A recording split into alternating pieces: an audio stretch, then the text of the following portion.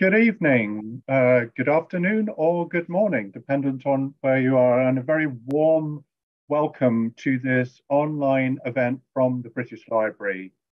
Alexander the Great, the making of an exhibition. My name is Scott McKendrick, and I have the privilege of not only being head of Western Heritage Collections here at the British Library, but also introducing this very special event that I'm sure you will find really fascinating.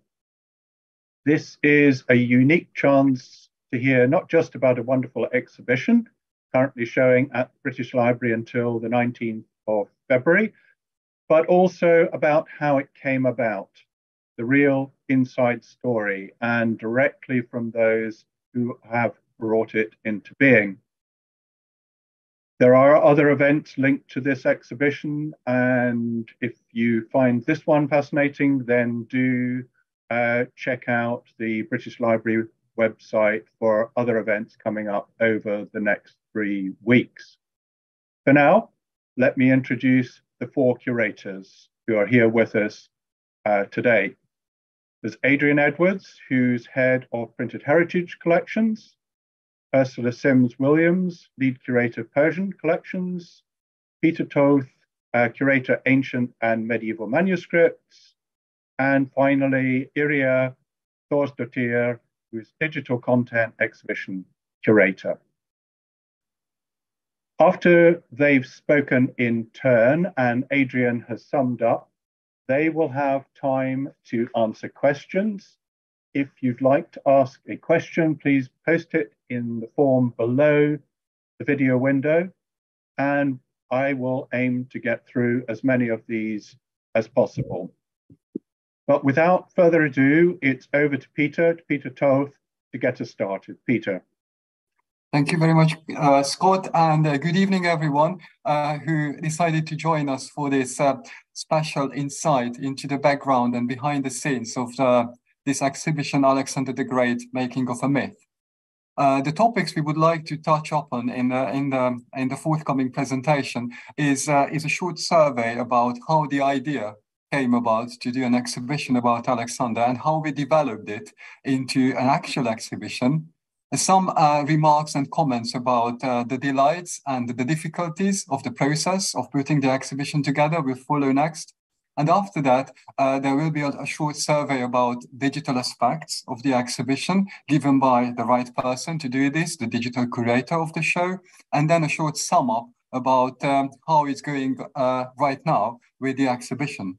So in the next slide, I would like to give you an idea about uh, how the idea of an exhibition about Alexander came up and the roots of the of, of the show goes uh, go back to quite early on in 1996, where the Brit- uh, when the British Library had an exhibition called the Mythical Quest, which featured 10 quest tales from all around the world, including epics from the Middle East and classical Greece. And one of the sections of that exhibition included stories around Alexander the Great and, and having that section, that chapter of the exhibition, convince the curators of the show that the British Library has wonderful and rich material which would qualify for a show about Alexander only. And then the idea of having, uh, having an exhibition devoted exclusively to legends, medieval and ancient and early modern legends of Alexander, uh, was, uh, was raised at that time and has been floating around in the library for more than 20 years when it was given as a task in 2017 and 2018 to us to, to flesh it out as an exhibition. In the next slide, we will see how uh, we were sure that this new exhibition cannot be about the historical Alexander, whose main dates and features are in this slide. We did know that it cannot be about the battles, the conquests of Alexander the Great, but it should be something else, which is on the next slide uh, we were sure that it cannot be uh, a historical exhibition because it has been done uh, in many ways and at many places already. And these exhibitions were always trying to find the historical Alexander in the extremely complicated forest of legends that surround his figure, trying to find the truth, the historical man behind the legends. Instead of doing that, we decided for something else. And for the first time ever, we decided to focus on the legends themselves on the next slide we were sure that this exhibition, for the first time ever, will expose and highlight the incredibly amazing transformations of legends around Alexander, who was flying in the air with griffins. And it will be an exhibition about these legends in a comparative way, where various cultures and traditions which adopted these legends will be contrasted with, with each other.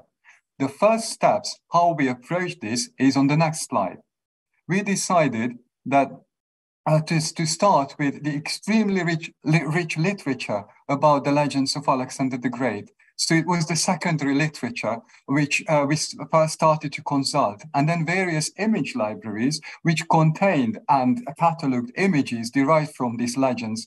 That was the next step. So we collected a lot of material about the legends and images and visual representations of the legends and Alexander uh, himself. And then having this incredibly rich material, we tried to translate it to the holdings of the British Library into our collections and see what exactly we have in the library's very rich and diverse collections. And then the next slide will give you an idea what we found after this. This was an extremely rich treasure trove of various things about Alexander from all across cultures and time. Comic books from the 20th century, Greek manuscripts from the ancient times, Japanese manga and anime series, music, and so much more which was extremely surprising for us. But then we needed a thread, how to organize this extremely rich material. And the thread was found as it is um, uh, displayed on the next slide. The thread, instead of having any other concept to arrange the material, was the simplest one ever, the life of Alexander. We would be following the legendary life of Alexander, as recorded in the medieval sources, uh, and uh, exhibit various uh, scenes of his life in a comparative perspective. For example, as it's illustrated on this side, the conception of Alexander from a French print and another French manuscript, an Indian film, and a Persian manuscript. This is how we uh, started to develop the concept. The next slide will give you an idea how complicated the process was. It was very clear from the earliest times on that this will be an exhibition where heritage items, if you, uh, if you go to the images with this slide, heritage items will be uh, displayed next to modern things. Just like here, you can see uh, Alexander's education with Aristotle um, taken from various things, from an Arabic manuscript and from a modern film of Oliver Stone. This was one feature. The other was that many of the items are in bound books and manuscripts, so uh, they can. Uh, there is only one thing we can show of a rich manuscript. Only one opening can be selected, and all the other delights and beautiful things in that manuscript will have to be hidden. So we had to be very careful what opening we select from a manuscript. And another very interesting challenge was that uh, we were sure that the, the narrative will be twofold for this exhibition. We will be telling the story of Alexander's life, in this case, his education with Aristotle. But on another level, we'll have to tell the stories of the items themselves we have to say what this Arabic manuscript represents and how important it is for the Arabic book illustration. We have to say something about the film, which was so controversial in its time. And we have to say something about the last items uh, uh, featured here, which is a 15th uh, century manuscript, which was an actual uh, copy dedicated to the Queen of England which gives an actual and an additional uh, message and an additional meaning to the story of Alexander represented in this manuscript. Which this this twofold um, narrative, which will you will see all along the exhibition, was quite a complicated challenge uh, to face. Which is why in the next slide you will see how we how we uh, how we face that, how we decided to face that. We have an excellent curatorial team set up exactly at this point. We have Adrian Edwards, who, who is the head of printed heritage collections, an expert of early uh, modern books and modern books as well. Uh, and uh, he advised us a lot about printed uh, novels and uh, modern things. We have uh, Ursula Sims Williams, the lead curator of Persian collections, working with us. Who uh, uh, made an enormous contribution to the show by securing Oriental, Middle Eastern material to the show. We had Yrja uh, Thorsdottir with us, who looked after the very rich digital uh, legacy of Alexander and made sure that this is rightly displayed in the show. And we had a PhD student working with us who helped us at various bits and pieces of the exhibition. But to secure that everything is accurate, on the next slide, you will see how we safeguarded the messages, the messaging of the exhibition. We set up an advisory board headed by our Scott McKendrick, who is uh, kindly chairing this evening with us. And uh, Richard Stoneman was the main advisor in the group. Uh, and uh, another uh, series of experts, they all helped us to secure that what we say is rigid academically and trustworthy. This is how we, we started off the work about which uh, my colleague Adrian Edwards will give you an idea. Off to Adrian. Thank you, Peter. Um, so if you look at the next slide, um, and so to the, the, the, the lengthy task really of finding potential objects for display, building around the thread of the storytelling that we've settled on. So the British Library has a lot of stuff, around 170 million physical items. How do you find Alexander related books and manuscripts amongst all that? Well, between us, uh, we have about 80 years experience working with the collection. That's, that's the four of us. So we had some pretty good ideas where to start looking. And we did indeed spend a lot of time browsing the shelves in historical storage areas where many of the materials are, are arranged by format and language or subject. You can see in the picture here, this is uh, the horizontal storage, as it's called, where, where we've got uh, very large uh, books of engravings, uh, this being the uh, Attarine Mosque in um, Alexandria. But for the most part, it was about working through lists of potential items found by searching our own catalogues. If you put Alexander the Great into our catalogue, you'll get a lot of hits um, trawling through specialist bibliographies, and yes, throwing Alexander related search terms at full text databases and picture libraries. But the main task was to read vast numbers of books and journal articles, making sure we followed up on the footnotes, read the introductions, got a sense of exactly what the writers had seen and what they'd not found. We did look at what other exhibitions have shown, but they were overwhelmingly interested in finding the historical Alexander rather than the later stories, so they were only of limited help. The really important thing, though, was talking to experts. Peter mentions the uh, advisory board, but there were many other people, including academics, curators at other institutions, um, collectors of Alexander, uh, Alexander memorabilia, and indeed uh, creators. Next slide, please. It's a relatively uh, easy task to find books and manuscripts that reference Alexander, but what we needed was to find an engaging mix that fitted certain criteria. There were content considerations. We were looking for stories from throughout Alexander's life, even though there seemed to be more that relate to particular periods, such as his campaigns in Asia and his mythical quest. We wanted to show stories that ranged from the possibly true, such as his magnificent funeral hearse, through to the pure fiction, like his flight through the air. We also wanted examples from all around the world and from different periods in time. So these considerations may have also applied if we were thinking of illustrating an academic book, but as this is an exhibition, we also had to think about physical considerations. So most items have to be visually interesting. A gallery that comprises just pages of black and white text is not very appealing for paying visitors.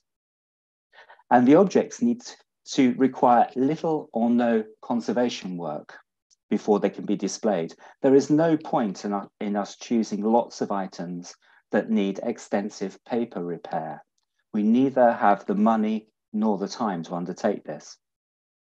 We wanted a mix of formats, shapes, and sizes to create variety and change of pace. Hence, for example, the suit of armor, which you may have seen. But then again, we didn't want too many very large items.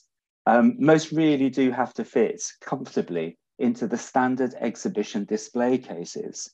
Um, there is a budget for building bespoke cases, but it's limited. And there are other constraints too. The book or manuscript needs to be available for the period of the exhibition, so not needed for teaching or for a digitization project or for display elsewhere. And as Peter has already mentioned, you can only show one opening from a book or a manuscript. Many of the items we chose were absolutely full of fantastic illustrations and could have been used to illustrate multiple stories we had to choose one, and there was a lot of debate around that, the exact uh, way in which we used each object. Um, on the next sl slide, please. Um, there are practical considerations that come from the gallery. So the size of the gallery is all important in determining the number of stories that can be covered, and indeed how many objects can be displayed. So our PACCAR 1 gallery has a floor space of 420 square meters. That's room for about 30 to 45 cases and a total of around, let's say, 120 described objects. In our exhibition, where we were thinking of showing each story illustrated by several items, two, three, or four objects to show the same story, but from different cultures and times. Um, if you work out the, the, the arithmetics around that, that leaves us to about 40 stories that we could cover.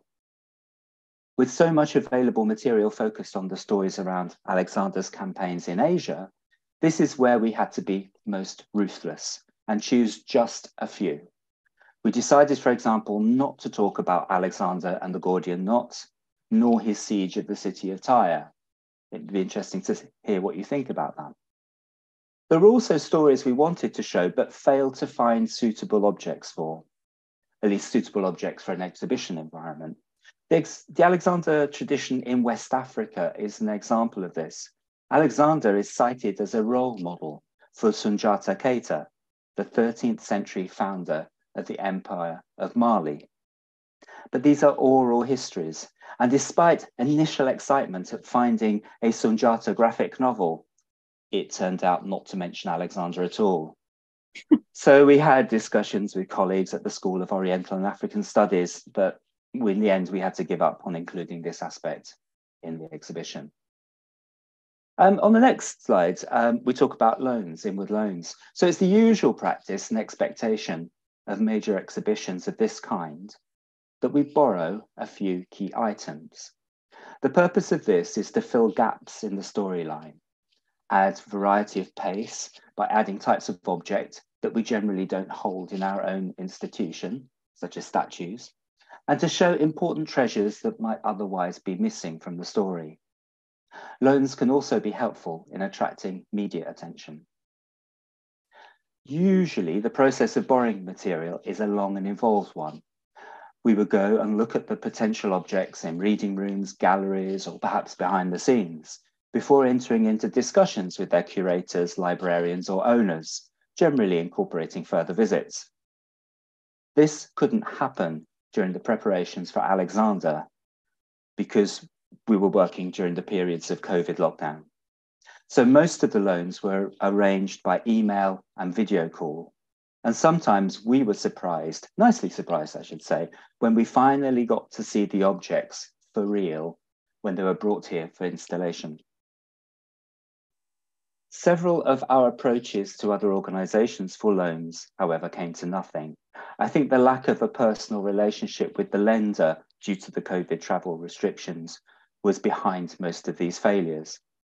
But loans are, of course, expensive, even though all costs are covered by the borrower, by us in this case, including any insurance, conservation work, transportation, courier expenses.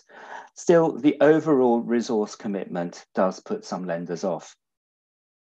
And at our end, I really must point to the um, efforts of our loans registry, who uh, made all this happen for us. And they spend a lot of time on contracts and, and getting things measured and so forth. In fact, in, in Alexander, we ended up with what I thought was a fairly large number of loans, um, 36 objects coming from 20 lenders, some of them major institutions, some smaller ones, and a few private individuals. Unfortunately, the travel restrictions around COVID meant that they all ended up coming from Britain and Ireland, with the exception of two objects from Venice, from the Hellen Hellenic Institute for Byzantine and Post Byzantine Studies. for which we were really fortunate in receiving a lot of assistance from the uh, Greek ambassador in London. Um, the next slide shows uh, what we ended up with. So this is the structure and the layout. Um, if you visited the exhibition already, you'll be familiar with it. It shows the stories as they relate to the stages of Alexander's life. So after an introductory area, we look at stories relating to Alexander's parentage in early years, then his career as a military leader, his relationships, his fantastical adventures with mythical beasts and flying machines and talking trees, and finally, the stories around his return to Babylon with his mysterious death, and the even greater mystery around what happened to his body and the spectacular tomb at Alexandria, in which the histories tell us it had been placed. The arrangement aims to make best use of the gallery space while allowing room for visitors to enjoy the objects, sit down in a few places, and be surprised by what's through a doorway, or especially at the end, by the unexpectedness of what's around a corner. The design created for us by Drinkall Dean, working with Lombard Studios, uses a lot of colours, fabrics, and projections. The aim being to help get across that this is not a show about archaeology, but about storytelling and about going on a journey. The colours, in fact, are meant, subconsciously perhaps, to suggest dawn to dusk, mirroring Alexander's own life from birth to death. And on that note, I'll hand over to Ursula. Thank you. Thank you very much. well, now comes the difficult part, the process of selection. And we had room, as Adrian mentioned, potentially for a visual and we each had our own specialisms, bringing different sets of material to the drawing board. But an added complication was COVID, as we've mentioned. The library was closed for much of the time, and we were working remotely without any access to the collections. So, what did we do? Well, we met regularly on Teams and we used Google Slides and we shared the files for each of the six sections. And as an example, I'm showing you a screenshot of section three, Building an Empire. This was by far the largest se section, and initially it included 87 items, which you can see some of in the left-hand column. We used the slide for an image of the item itself, and we also used the note area underneath for additional information on provenance and context and image source and so on. We found this very useful later. The final selection for this section, in fact, consisted of 40 items, so we whittled it down a fair bit. And in this next slide, I show you um, the subsection, which is of that section, Building an Empire, India and Beyond. And what we see here is how we were able to group the items together in experimental ways. And this actually is, is the final, these all got into the final show. But we see on the left the Battle of Porus and Alexander in, in a Mughal 17th century realization, and then somewhat different from a 15th century European perspective next to it, coupled with an archaeological coin of um, made to commemorate Alexander's victory. And on the right, um, we were able to bring in the um, autograph manuscript of Handel's opera Alessandro. Um, and also in the exhibition, we, we have um, an audio point where you can listen to a recording of it. And then underneath, Alexander Iskander, engagement with Indian philosophy. So on the left side, a Persian manuscript showing him meeting the Brahmins, and on the right, the same um, story, Alexander and Dindymus, he's called, in a 17th century British publication. So now in the next slide, I'm showing you the actual object list? Well, because of COVID, we, we weren't really able to come up with a draft object list until towards the end of 2021. Um, we would, I think we would have hoped to have come up with it much sooner in normal circumstances. But here you see the final version with columns for image, title, author, date, media, registration number, and so on. And when we break down that final choice, we've actually got 144 objects about, more than the initial 120, but some are quite small.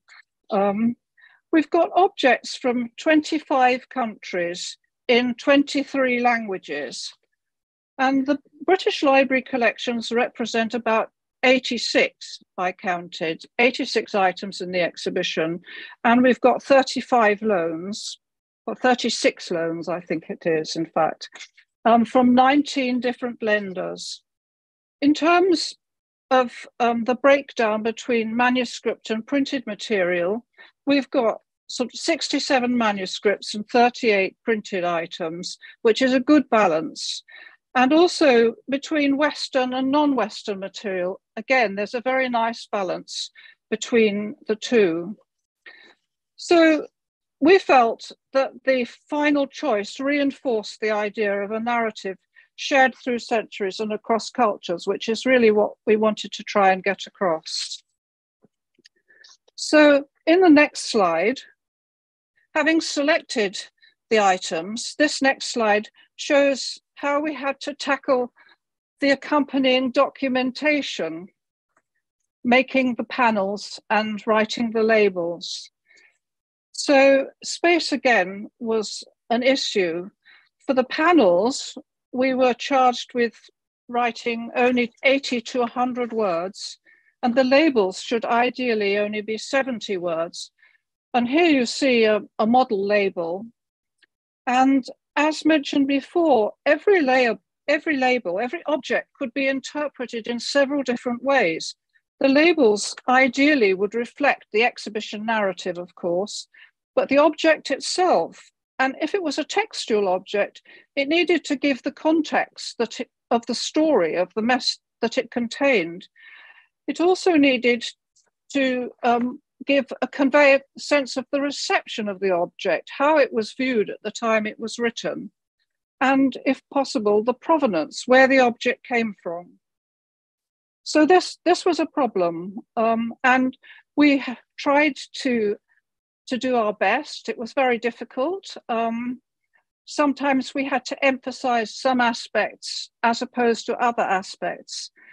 But um, in the next slide, fortunately, we were able to um, write a book, the book of the exhibition, and we could go into a lot more detail here.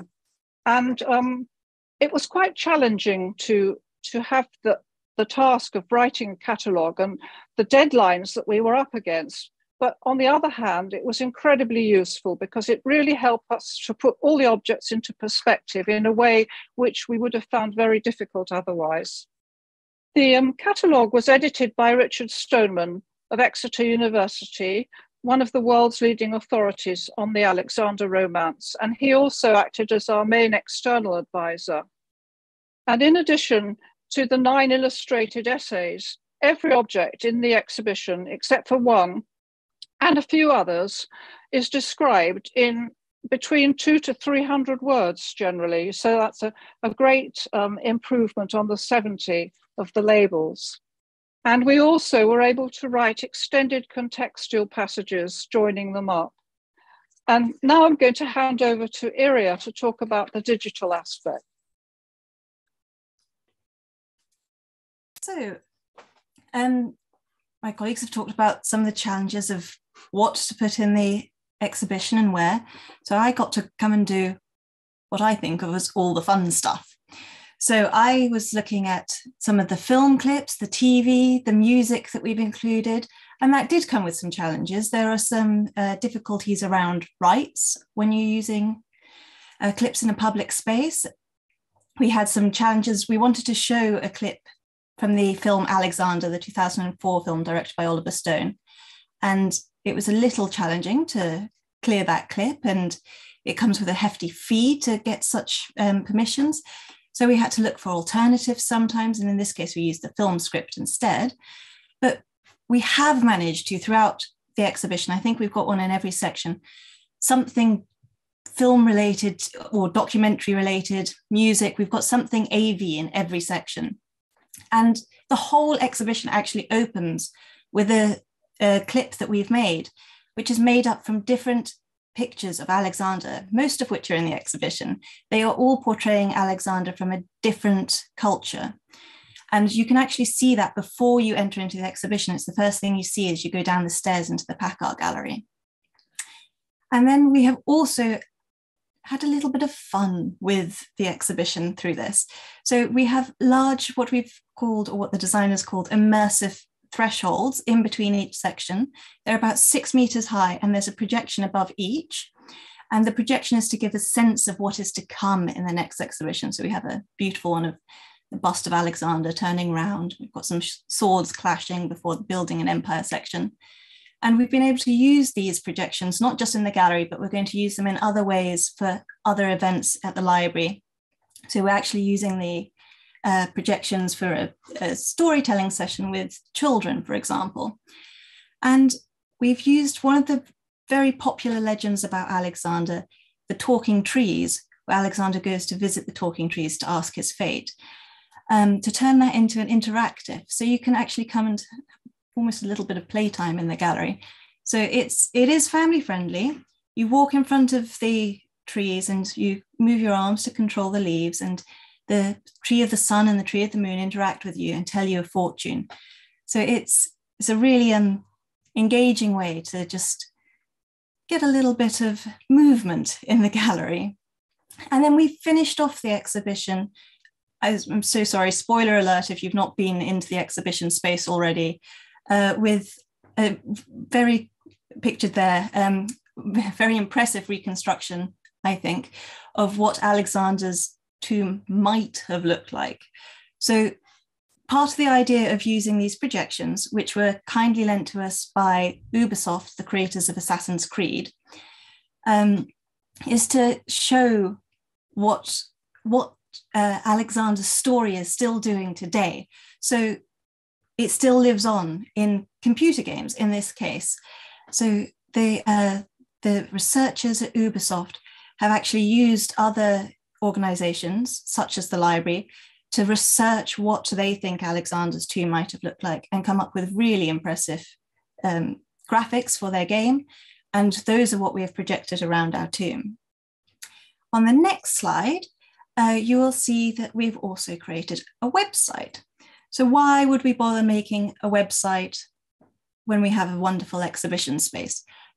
Partly audience reach.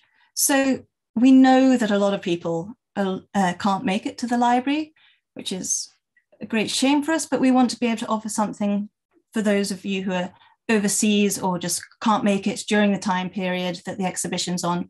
And that's very much what our Alexander the Great website is for.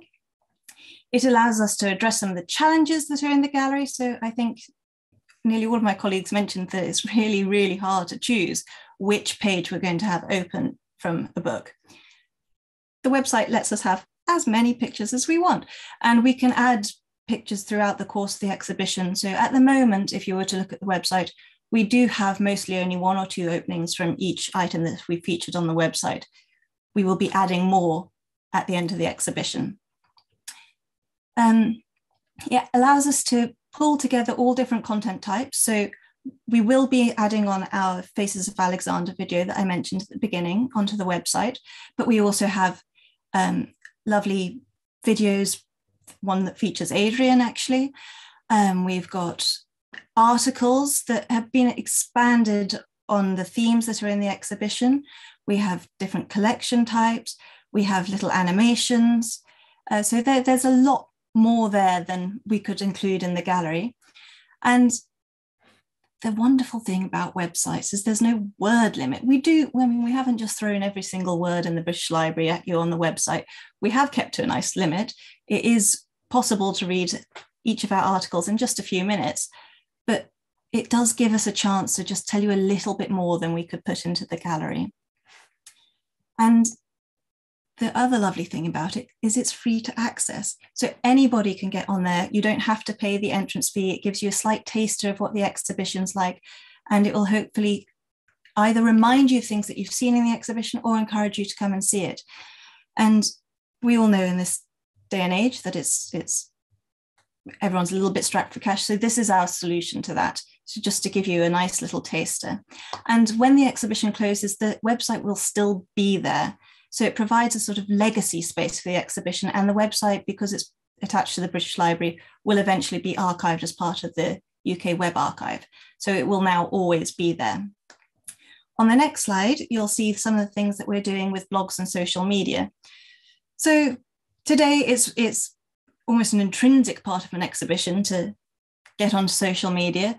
Um, we use Instagram, Twitter, Facebook, TikTok now as well. I think we post to LinkedIn as well. Um, and that just allows us to be a little bit more playful with some of the items that are in the exhibition. Uh, the, the image in the middle of this slide actually um, suggests our idea of how you might get to work during one of the TFL strikes, uh, inspired by Alexander in his um, flying Wendy house. It looks a little like in his little flying machine. It gives us a chance to catch up with some of the creators, who are featured in the exhibition. So we have um, we interviewed Romina Yee, who is uh, a graphic novelist who lives in Malaysia but managed to come to see us in the exhibition. And we talked to her about what she finds important about Alexander and why she created a 21st century Alexander romance. And that you can find on our social media channels and also on our website. And we include blogs, which allows us to expand beyond everything that we've got in the exhibition. So we, we're talking about Alexander, but we can include some items that didn't make it into the exhibition, or we can go into more details about loans.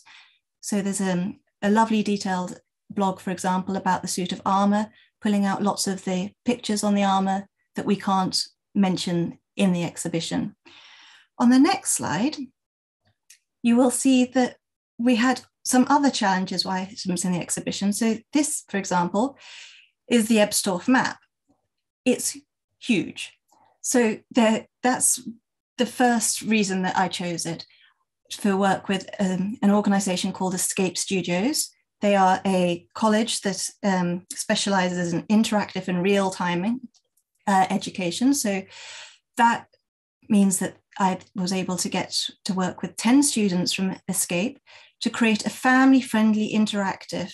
And we ran it as a summer project and I asked the students to create me um, a more accessible version of the Ebstorf map.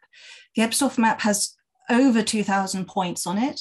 It was, was the world's largest um, world map, sorry, the largest world map from the Middle Ages. It was created in around 1300, but it was unfortunately destroyed in uh, 1943 by Allied bombing of Hamburg. And that made this map particularly interesting to work with um, gaming technology because it's something that is now lost. And we were able to recreate an image of it um, from the facsimile that you can see on this slide and the facsimile that is printed um, at two meters by two meters and is on display in the gallery. Um, and we could use that as a basis to create a really lovely interactive 3D version of the map and in that map, you can swoop into the different sites that in this map that relate to Alexander the Great. So I said there are 2,000 points on the map. About 19 of those relate specifically to Alexander the Great and the Alexander Romance.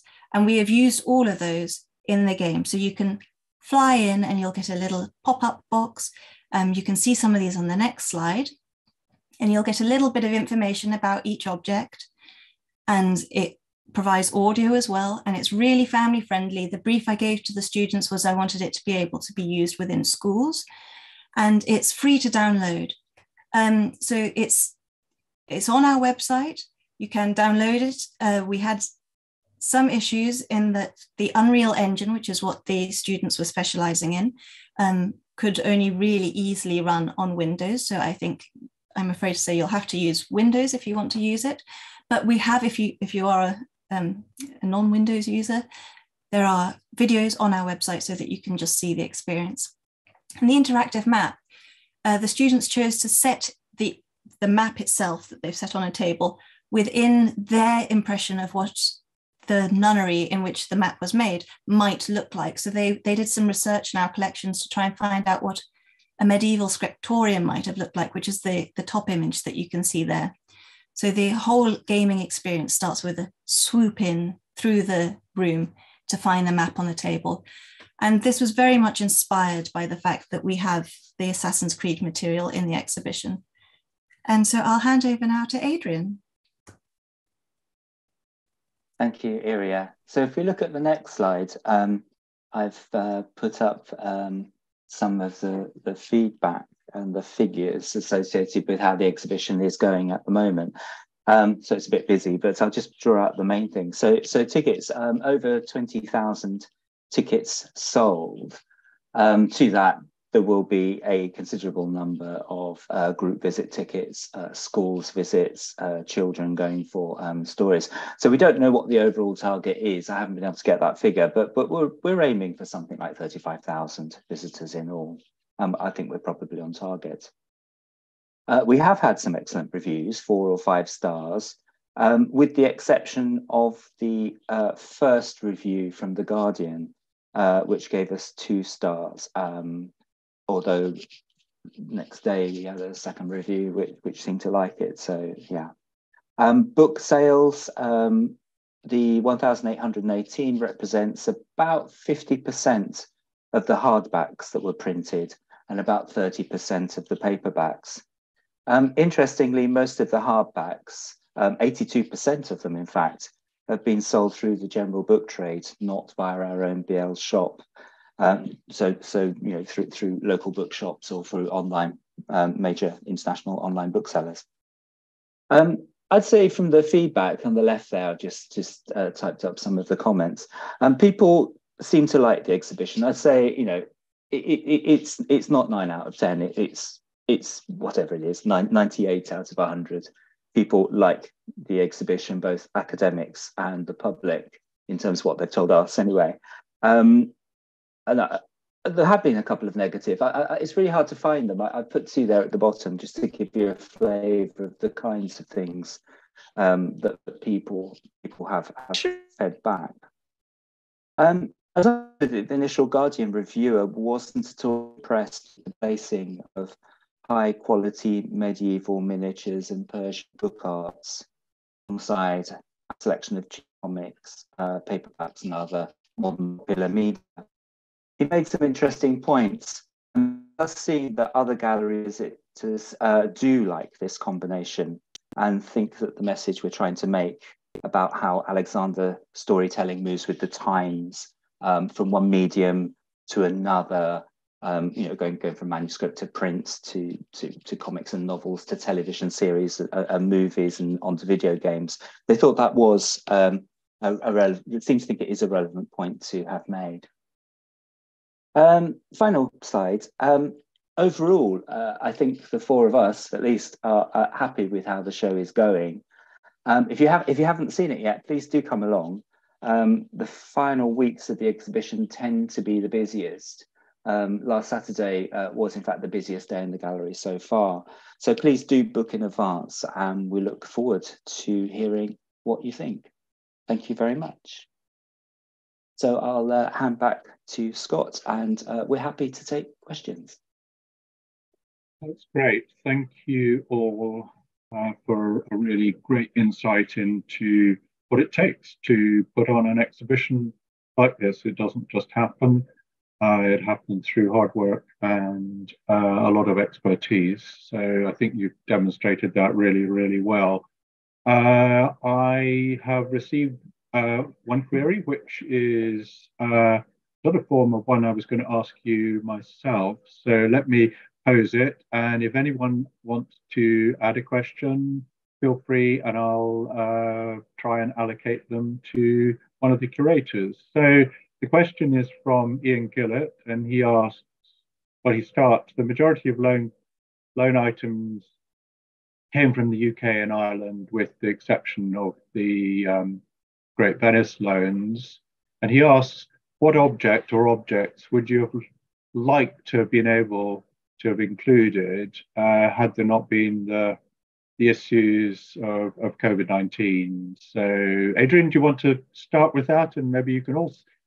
Oh, I, th- I think we should all we should all uh, have have that answer that separate this anyway. Yeah. Um, I don't know. Coming from from overseas, I'm not sure because of COVID. I, we we kind of didn't look as closely as we could have done. There are some really wonderful manuscripts. Um, for anyone that's been to the exhibition, you might remember when you um, at the very beginning, there's a, a, printed book we borrowed from National Library of Scotland that has Alexander, a portrait of Alexander with uh, boar's tusks. Um, it's a weird thing.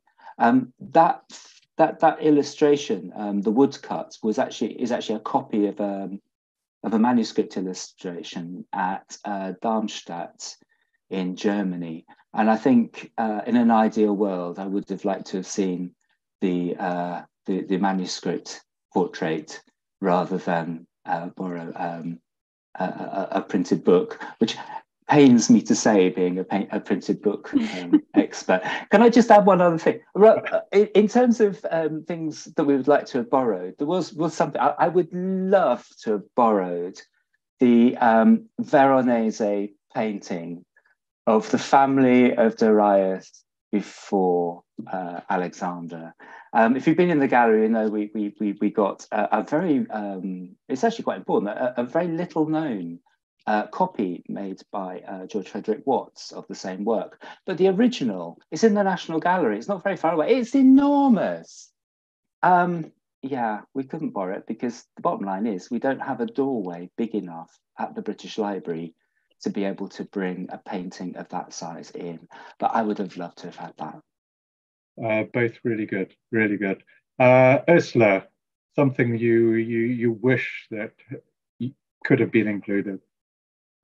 Well, um, I I would have I would have liked particularly there's there's a one of our manuscripts in the in the India section in in the India section um, is is showing um, is is showing uh, um, yeah is showing um, Alexander a copy of um, the Khamsah of Nizami and um, the manuscript is broken up. I mean, we had this with the, in the case which I don't with, of um, the Chester Beatty manuscript and um, our Yates Thompson manuscript illustrating the Porus battle. Anyway, that manuscript um, is in the Walters Library it, in um, Baltimore, and it would have been lovely to have it and to unite the manuscript together for the first time. But um, it wasn't possible. Well, I, I, mean, we might have been able to borrow it, but in that case, um, expense was a great issue, and also um, the time involved in negotiating an extra loan overseas. We we did try as far as possible to um, to look as close to the library as we could for practical reasons. Yeah, and there's a, there's a lot of fantastic stuff in um, the UK. But um, yeah, no, that's that's interesting. Peter, uh, something you you long for that you couldn't include in the exhibition. There was a there is a nice uh, sculpture, a head of Alexander, in a UK private collection, which is um, which is an original Hellenistic piece, very little known. The first catalogue was published in the 20s, and we approached the collection, but due to COVID, that was an effect of COVID. They didn't have the staff resources necessary to, to actually manage the, the landing of that item. So we had to give up on it, which was a sad loss because it would have been a nice uh, showcase for that item, which is which can be seen there in that particular collection, but not anywhere else and it would have been a nice context for that item to, to be in the exhibition, an original sculpture from the Hellenistic period. Uh, but we couldn't have it due to COVID reasons, so that was a, that was a sad loss. Very good. So, Yrja, you've mentioned the Oliver Stone clip. Uh, were there other things you would have liked to have been able to include? Yes, and I suspect the reason for it not being included would have also been um, cost and rights. But um, mine is actually a piece of music. I think it would have made the most wonderful juxtaposition against the piece of Handel that we have. But there's a song called Alexander the Great by Iron Maiden. And I think it would have just been a wonderful um, opportunity to have the two of them side by side to show the two different extremes that Alexander can work to. Very good, very good. Uh, no, I haven't heard that one, so that that is interesting. Yeah. So I'm going to ask uh, uh, a different form, which is uh, more about what is in the exhibition, and I'm going to put each of you on the spot. Uh, it's the invidious, uh, which is your favourite child question. But uh, so who, who shall I? Ursula, which is your favourite item in but can I cheat first? Because one of my absolutely most favourite items is um, is the the book, the story of Perceforest, which isn't which isn't Persian, um, about how Alexander the Great got on a boat to come back to go back to Babylon, and there was a storm, and guess where he woke up? On Britain's shores. Um, and that was very unexpected for me. But in terms of Persian items, I think one of my most one of my favorites is the one which I showed in the slide. I don't know if people could see it clearly, but of the Brahmins um, being interviewed by um, Alexander, Alexander the Great, dressed in his bling, frankly, and ev- all the worldly accoutrements he could possibly have, contrasting with the Brahmins in their simple dress, wearing just sort of fig leaves. And it says in the text that they ate nothing but seeds and and covered themselves in leaves. And so such a graphic description. I think that's my favorite. Ask me tomorrow, I'll say something else. Very good. In fact, I've anticipated a question here from Annie. So, and she asks, I would love to know each of your favorite item in the exhibition or aspect or feature of the exhibition. So it's not just about an exhibit, but actual feature in the exhibition. So thinking about features of the exhibition uh, as well as exhibits. Uh, Peter, do you want to go next? I'm happy to. So there is a there is a, a, juxt, a, a, kind of an odd juxtaposition of two items in the exhibition I quite like there is a beautiful Persian manuscript recording the legend of Alexander's uh, conquest of China as he is in battle with the champion of the Chinese emperor, who turns out to be a woman in disguise. uh, and uh, there is a beautiful double opening in the manuscript showing uh, an extremely elaborate image of that battle and they put uh, and and um, and the and the legend of Alexander's invasion or attempt to invade China is is is specifically specifically Persian. We don't have it in any Western sources, and all of a sudden we found an American comic book which describes Alexander's attempt to invade China in the 1980s. Uh, towards the end of the Cold War. And then it says, uh, introduced by the, the personification of death, Alexander is invading China, uh, where he is accepted quite favorably by the locals. But then he's turning to be too, too proud of himself, and they expel him with the, what they call the fire of the gods, which is the gunpowder.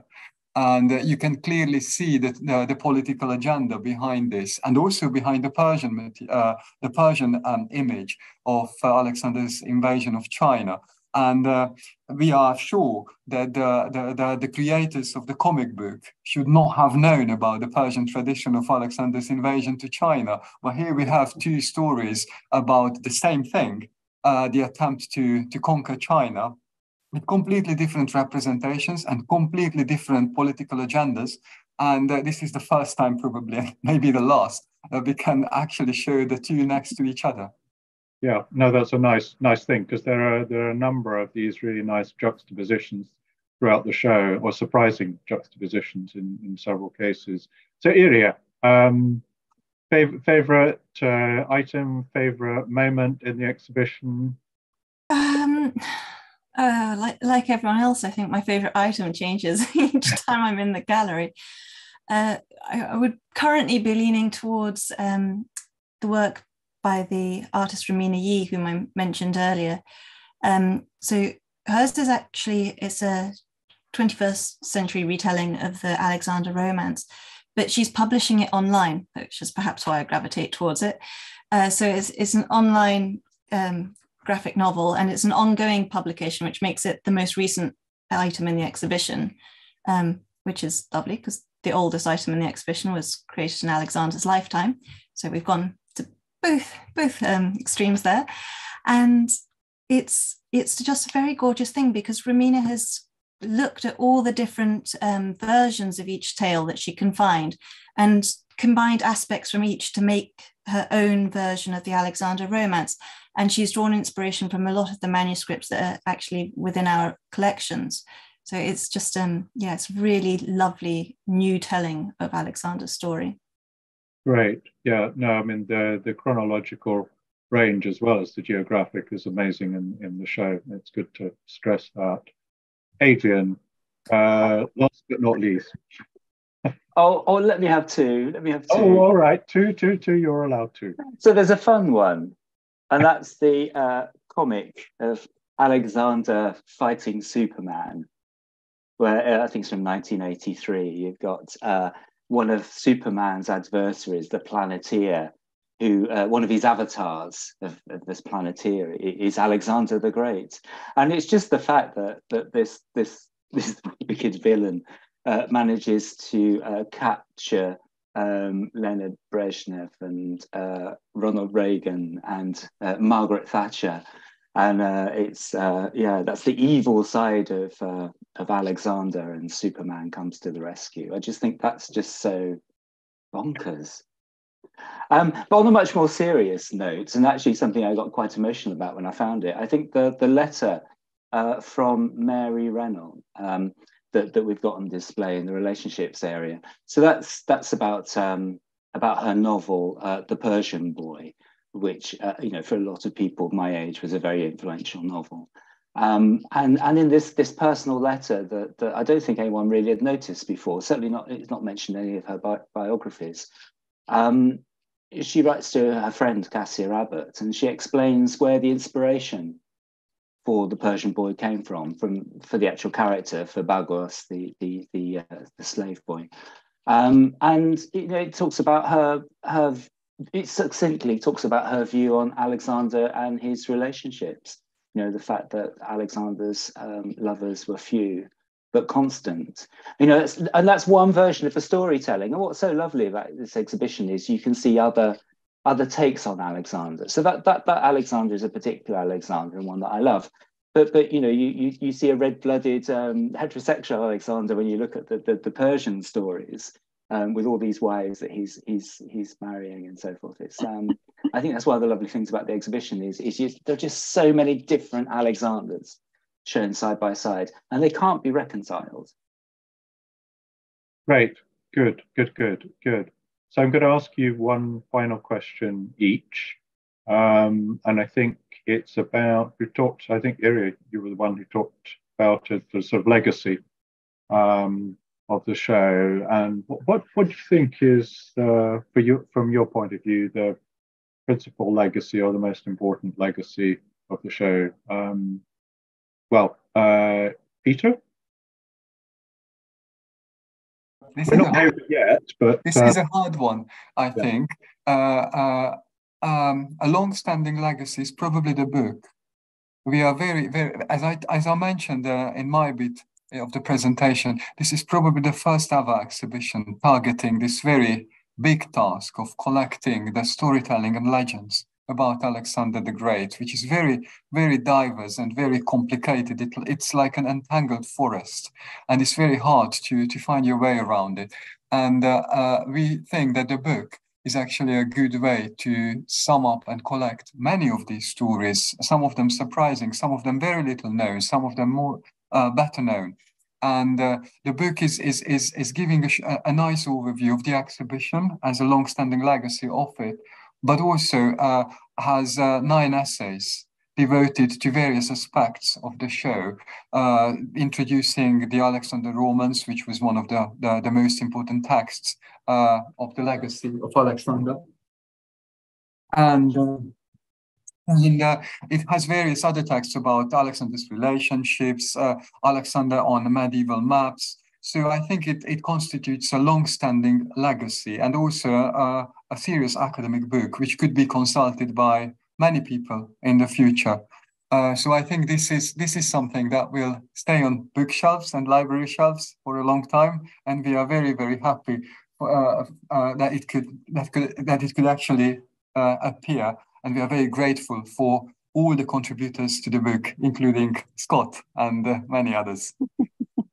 very good, good, good. Um, so I'm just going to go and switch the light on, but Yrja, do you want to uh, say what you think in terms of legacy?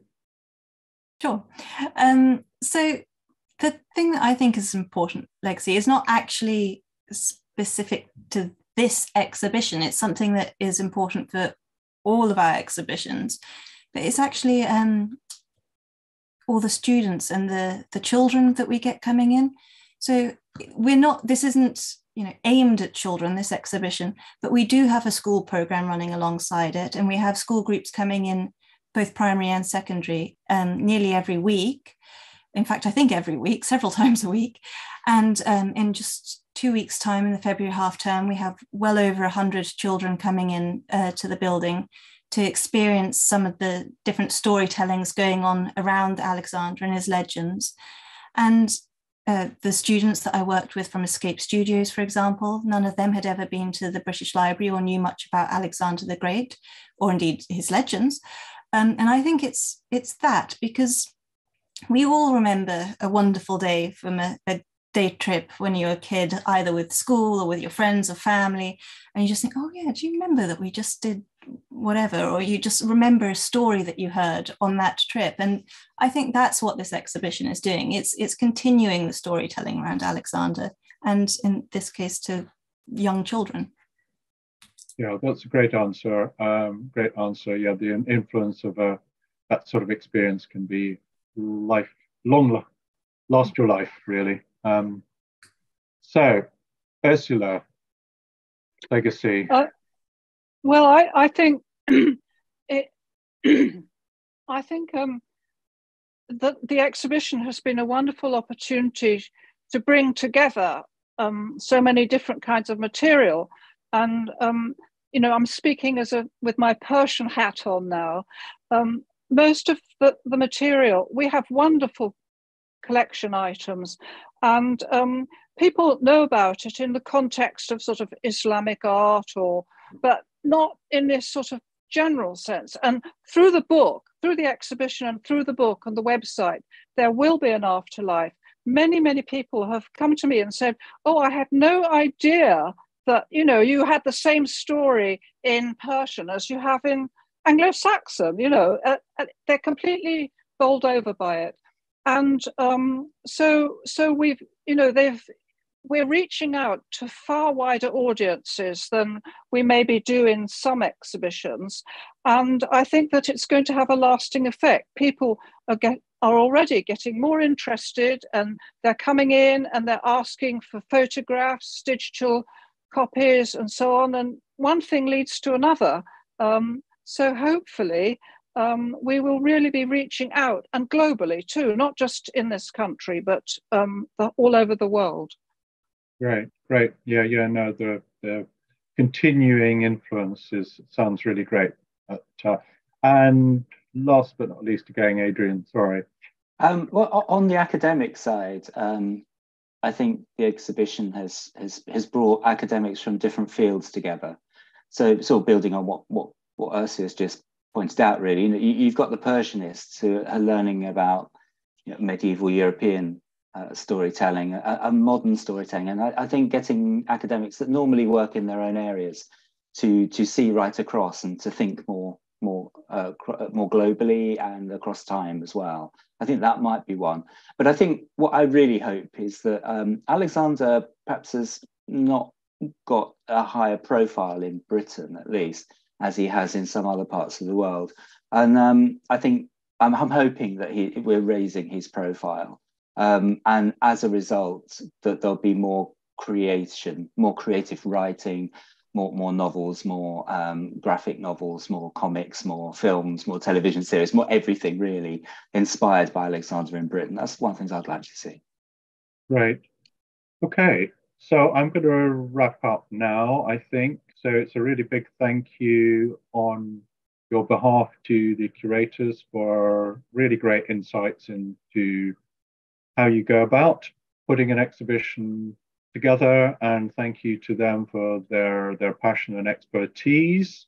And a thank you to all of you for attending. If you've not already visited the exhibition i hope you have been persuaded that you absolutely have to do so uh, don't leave it too long. As you see, uh, it only runs until the 19th of February. And as Adrian said, the best thing you can do is book in advance to avoid disappointment.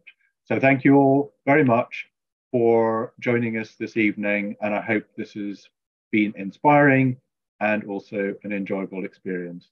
Thank you all.